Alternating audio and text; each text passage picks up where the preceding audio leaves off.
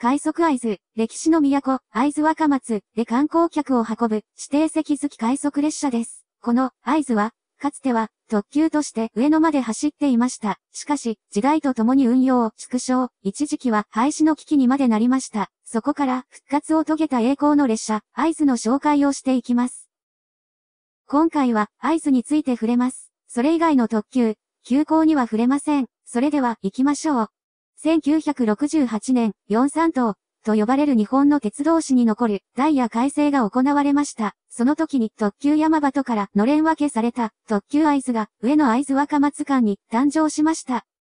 在来線特急として会津若松へと観光客を運んでいましたが、90年代に入ると新幹線や高速道路が整備されてきました。福島県と東京は200キロほど離れているので、新幹線の時間短縮効果はものすごいです。その結果、1993年、特急会津派、郡山から会津若松と運用が縮小されてしまいました。また、同時期に磐越自動車道が開通、高速バスの時代が到来。しませんでした。1990年の磐越道の開通後、すぐに高速バスが走り出すことはなく、6年後にようやく、高速バスが走り始め、特急会津を殺しにかかります。マチガイルならぬ、マチスワンです。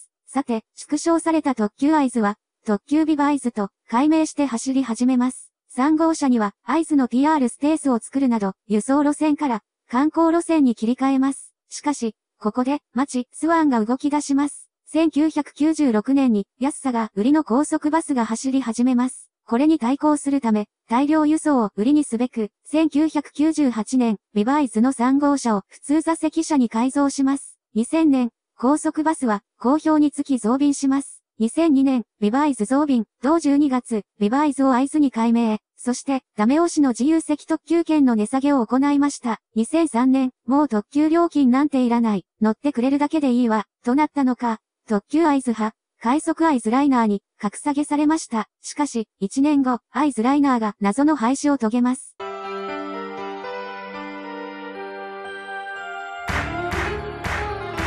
しかし、あいづが再び輝きを取り戻します。2005年、会津デスティネーションキャンペーンが開催。特急あいづが新宿、喜多方間で復活をします。車両はスペーシアになれなかった485系です。7月から9月までの3ヶ月間、会津へと観光客を運ぶべく走り続けました。その後、毎年夏に走り続けます。サザエさんの香り松茸味しめじを聞いて秋を感じ、マクドの三角チョコパイで冬を感じ、レミオロメンを聞いて春を感じ、あいづで夏を感じると、一年の風物詩になりました。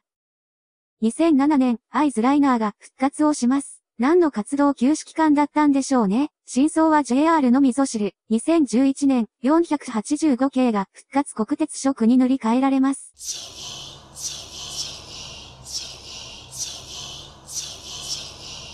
どうやら国鉄には、国鉄色に戻されると引退するジンクスがあるようですね。例によって、2015年、車両の老朽化という理由で、アイズライナーは廃止になりました。後継車両が出なかったことから、本当は別の理由であったのでしょう。その後5年間、無名の快速列車が走り続けました。新幹線で東京から1時間半、郡山で乗り換えて磐越再線へ、運悪く座れなければ、1時間以上立ちっぱなし、旅行で大荷物などを持っていれば、苦行です。冬なんて特に観光客が多いです。さすがに年末年始は臨時列車、合図が走りました。されど臨時、高速バスくん強すぎます。2020年、磐越再線の利用者が実はそこそこいたことが判明。一部列車に指定席が付けられることになりました。指定席を販売する際には列車相性が必要ということで、快速アイスが定期列車に復活。現在も磐越再線を1日3往復しています。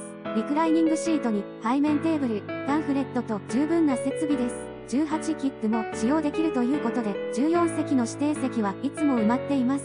車体には、鶴ヶ城公園をイメージした桜をまとって走り続けます。